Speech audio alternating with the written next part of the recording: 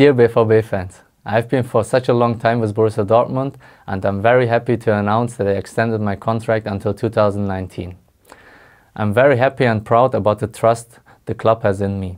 Hopefully we will have a lot of nice years together and win a lot of trophies. Yours, Nuri.